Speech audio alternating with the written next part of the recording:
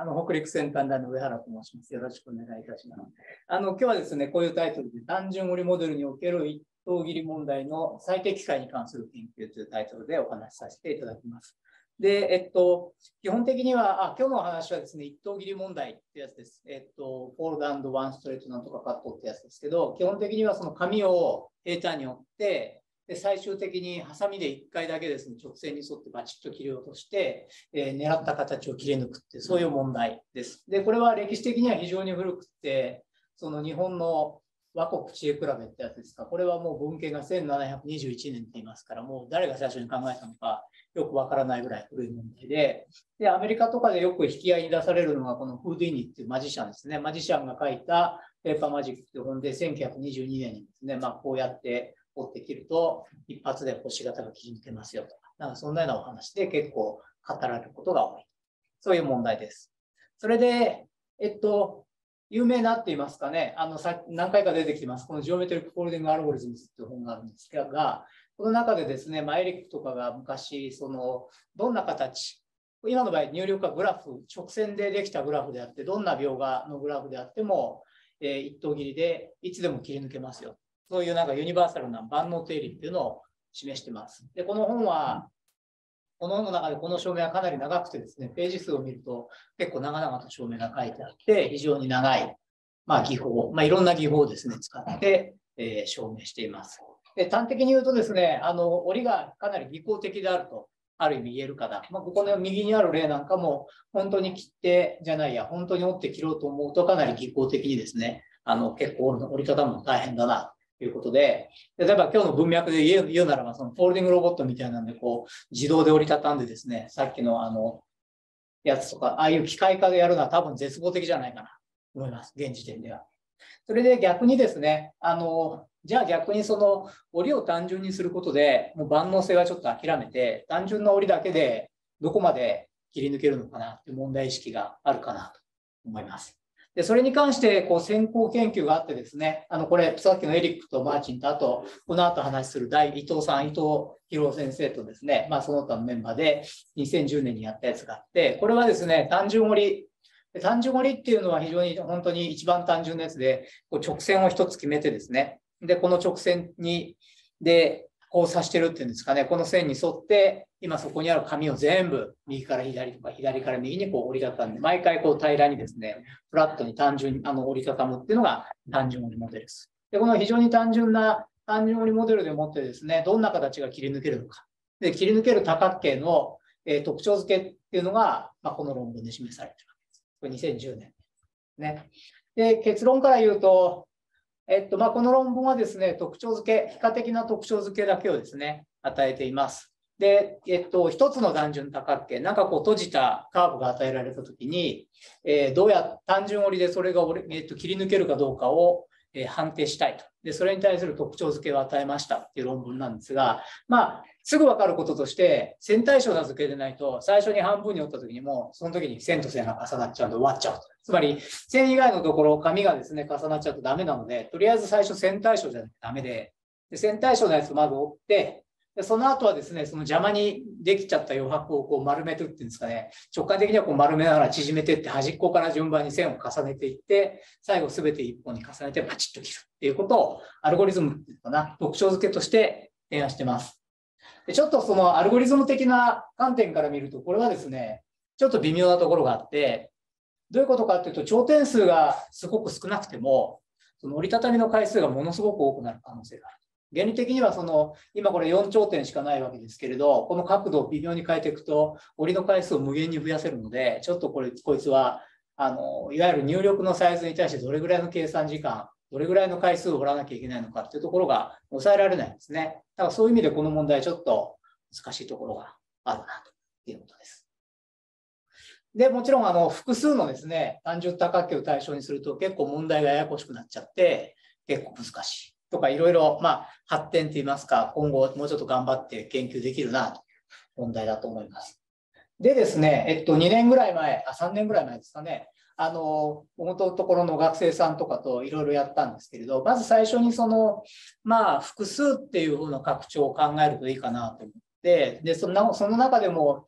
ものすごく簡単な例を考えましょうと。いうことで、その時何を考えたかというと、もう1次元の折り紙にしてしまって、細長い1本の紙にですね、もう等間隔にパラレルにこう線が入ってて、この線を全部重ねて切ると、バンと。で、そうすると、ここまで問題を簡単化するとですね、もう蛇腹折りにすればいつでも可能なわけです。毎回それぞれのこの区間のですね、真ん中でこう山折りなり谷折りなり、こう交互交互に寄っていくと、切りたい線が全部一直線上に重なるので、こいつをバーンと切ってあげればいいんだけど、で、そこまで、これはいつでもできるっていうことが分かったので、ならば、あの、折りの回数ですね、なるべく折りか折る回数を節約して、楽をしてやろうということで、えー、なるべく折る回数を少なくするような折り手順をあの求めるという問題を考えました。今、この例で言うと、この矢印のところ、これまあポインターとか、まあいいや、この矢印のところでですね、折ると、結構長い、あの、なんですかね、右側の長いところがガバッと1回で重ねられて、紙の長さがすごく短くなるので、かなり手数が節約できる。だからこういう感じのところをですね、うまく求めてやって、繰り返しそれを適用してやって、うんと折る回数の最小化をする問題っていうのを考えました。ちょっとテクニカルな話で、今日はあんまり詳しく言わないんですけど、動的計画法ってアルゴリズムの技法を使うと、一見 exponential かかりそうな気がするんだけど、n の3乗時間ぐらい、この線の数のですね、3乗時間ぐらいで、えー、最短の回数の折りの手順というのを具体的に求めることができます。っていうのを2019年にですね、やりました。で、ここまで、ここまでが前振りでですね、今日ここからの話なんですけど、これでですね、あの、大体、あの、折った線に対して、折った線を全然切らないでバーンと狙った線だけ切るって折り方さっきしたんですけど、あこれどういう意味かっていうと、あのまあ、写真見せた方が早いですね。この写真で見るとなんかこう縦にハサミであれは切ってたんですけど、横にバーンとですね、すべての折り線に沿って切ってあげると、実はこういうさっきのあのバラバラな平行線でなくてですね、一本のジグザグの線を切り出すことができるなということにある日、ふと思い至ってですね、でその時に、さっきの蛇腹は全て平行線で折ったわけですけど、別に必ずしも平行にしなくてもいい。つまり、こう、なんか平行に近いような折り線を入れてあげて、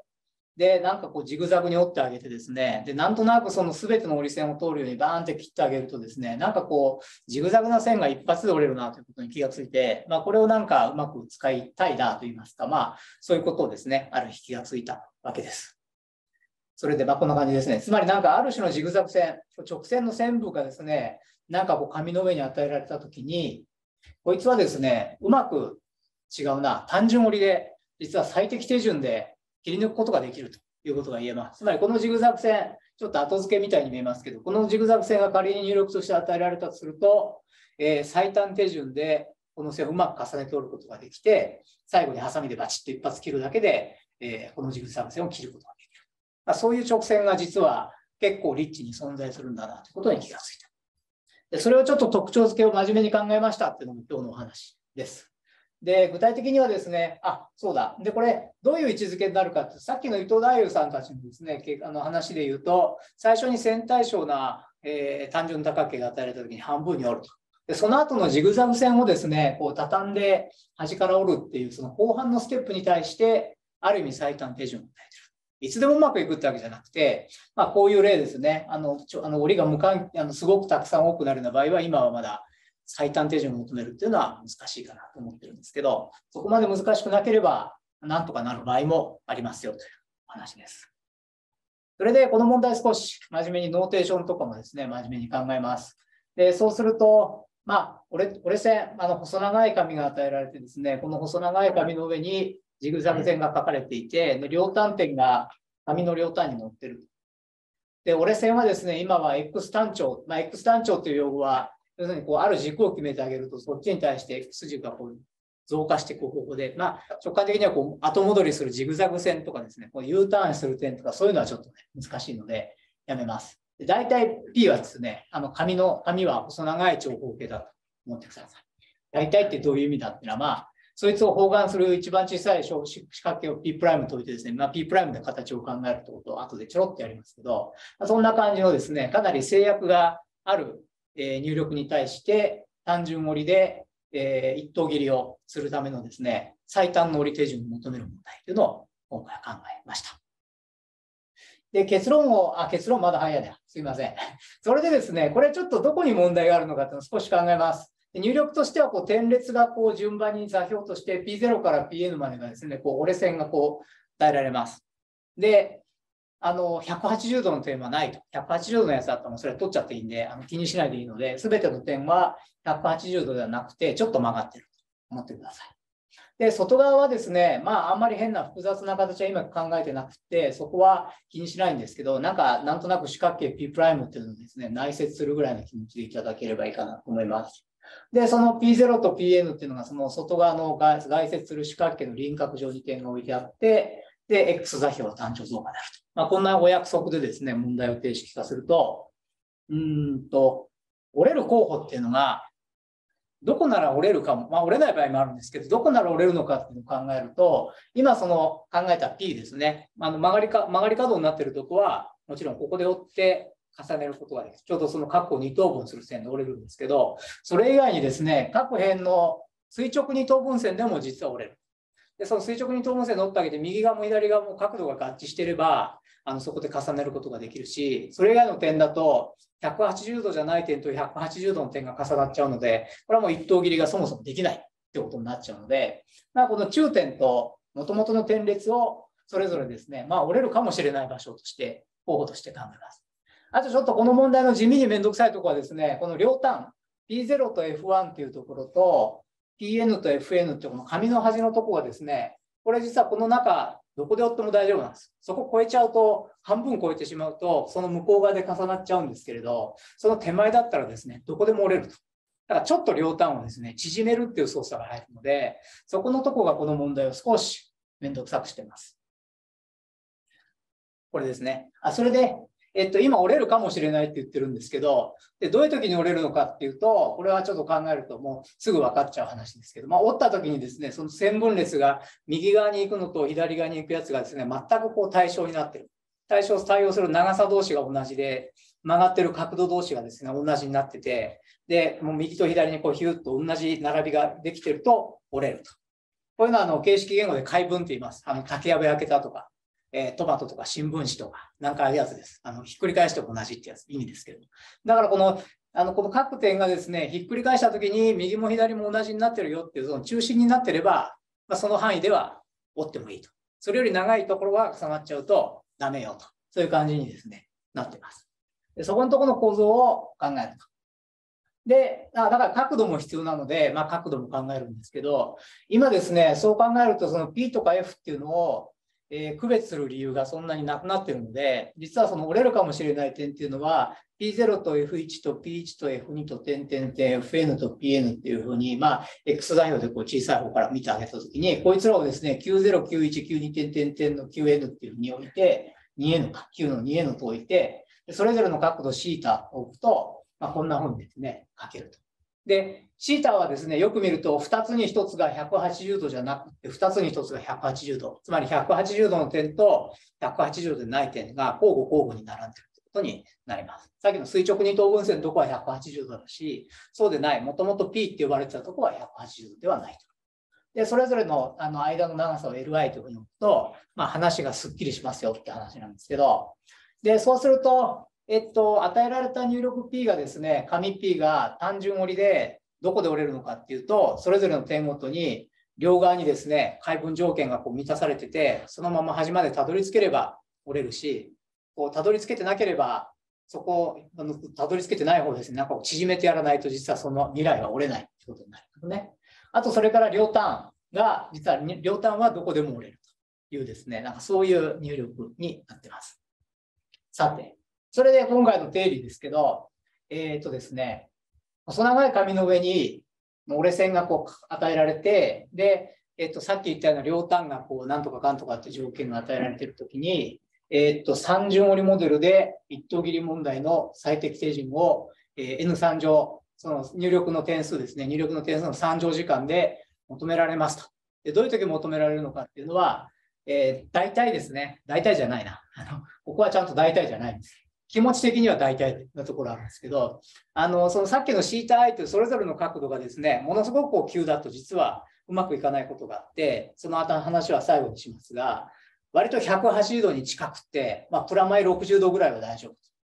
で、各シータ、その両端点はまああまりどうでもよく、どうでもよくはないですけど、で、それぞれの辺がですね、実はある程度長くないとうまくなくて、ある程度長いっていうのはどうなるかって、その紙のその P の高さっていうんですかね、幅っていうんですかね、この幅に対して、ある程度、この点と点の間の距離が長いっていうことが言えれば、実はですね、あの、割と簡単にダイナミックプログラミングという技法を使って、えー、最適手順というのを計算することができます。っていうのが今日の話です。で、一応それに対する準備がですね、2つだけ準備があって、さっきの、えっと、長さ n の文字列が与えられ、まあ 2n ですけどね、長さ 2n とかの文字列が与えられたときに、各点ごとに自分の両側にどれぐらい配分条件が満たされてるのかなっていうのを事前に計算しておくとちょっといいんですけれど、これをやるアルゴリズムっていうのはですね、実は1975年にあって、これ線形時間にですね、皆さん端から端までバーっとこう読んでいくぐらいの時間を、それを2、3回やるだけでですね、その自分の両側にどれぐらい解分な状態になっているのが、えー、見つかるのかっていうのをですね、全部計算するアルゴリズムっていうのはすでに分かってます。昔から。これはすごいアルゴリズムだな。僕は個人的にはすごいなと思うんですけど、まあそれはそれ。それから両端のですね、長さを縮めるっていうことをさっき言いましたけど、両端の長さを縮めるには毎回半分半分に折るっていうのが一番効率的だし、まあそれより早くもできないし、それを下回ることもできないので、実はそのある長さを端っこをですね、どれぐらいの長さまで縮めたいって、そのそれに対して何回折らなきゃいけないのかっていうのは、エグザクトにですね、計算できます。っていうのを2つ踏まえておいて、あとはですね、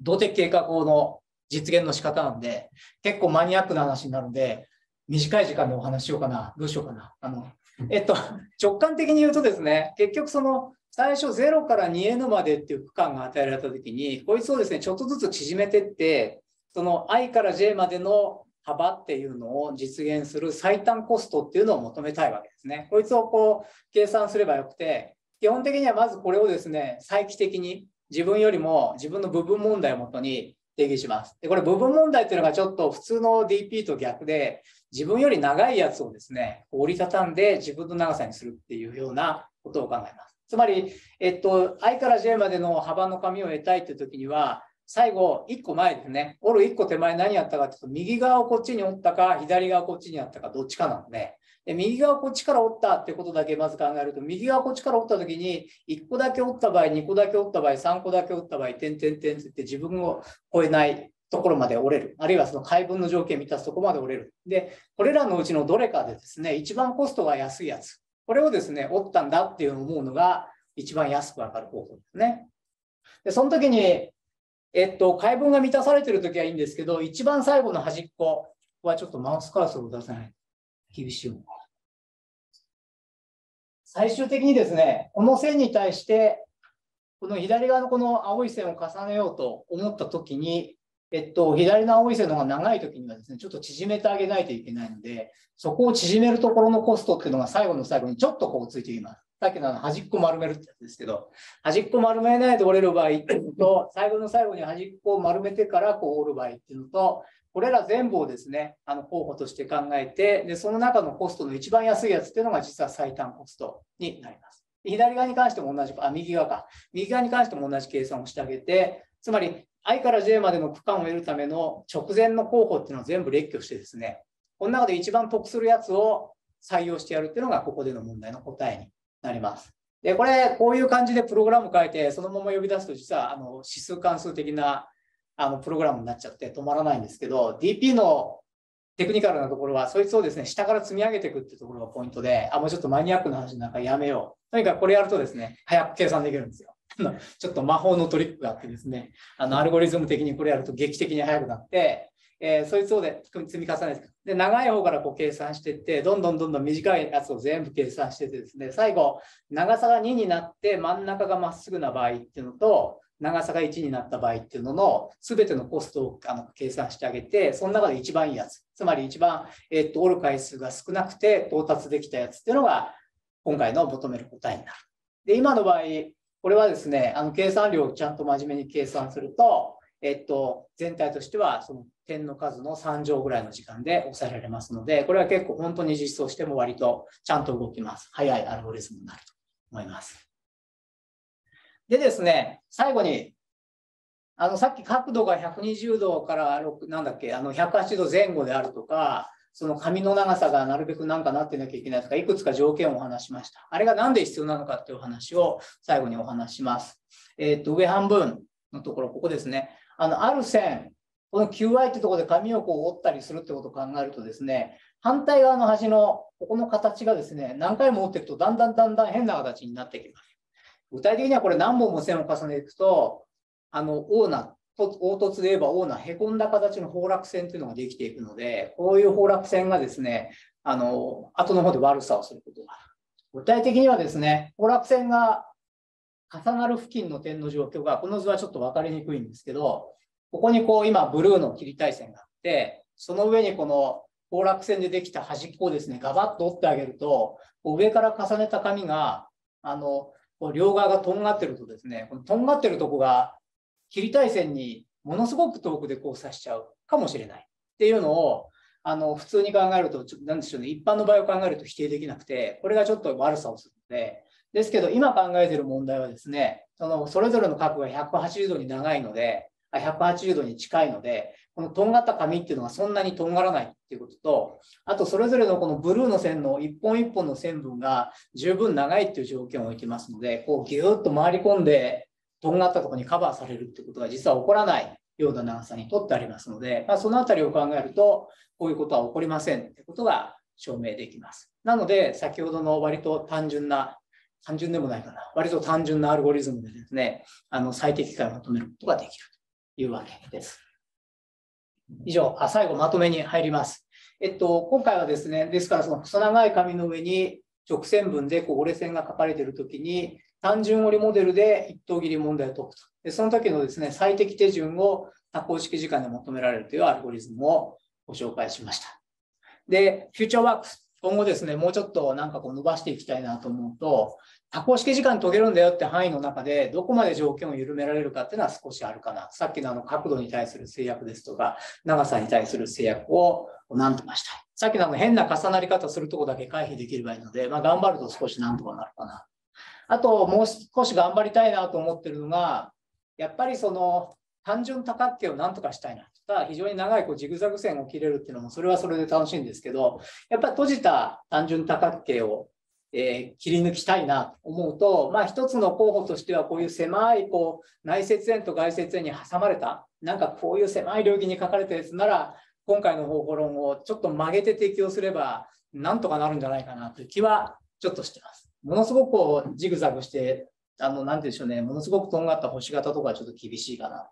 思いますけどね。あと、複数の図形の拡張とかも、まあ、考えられるといいかなと思います。なんかこの円形の紙に、ほぼ円形の多角形っていうのができてれば、それはなんとか。あるいはこう円錐状のですね、コーンの形のですね、なんかあるエリアにこう、なんか、なんでしょうね、なんとなく水平線に近いような感じ、こうコーンな帽子をこう、チョップしてカットするような、そういう問題だと、なんとかなるかな